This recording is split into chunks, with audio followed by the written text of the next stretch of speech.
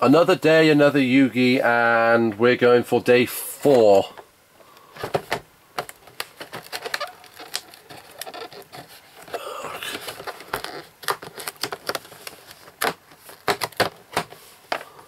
So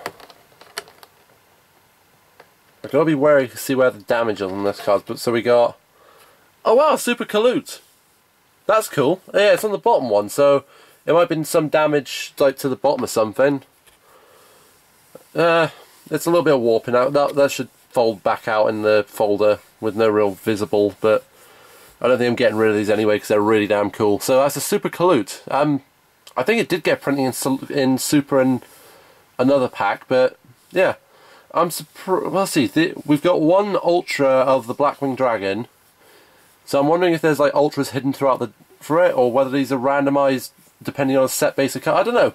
We'll see what happens with these anyway. I'm actually, I'm still haven't looked at spoilers because I don't want to. And day four.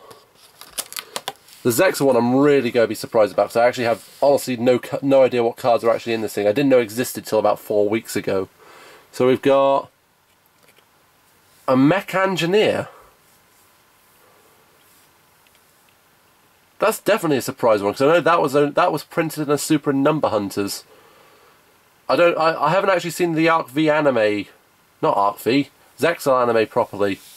So I don't know if Mech Engineer's got proper like story arc or something. Whether it's an actual story-based card, or whether they just like printed random odd cards in here. Very boggling.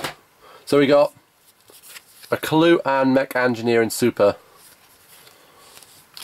And that concludes day four. Uh, Merry Christmas to peeps.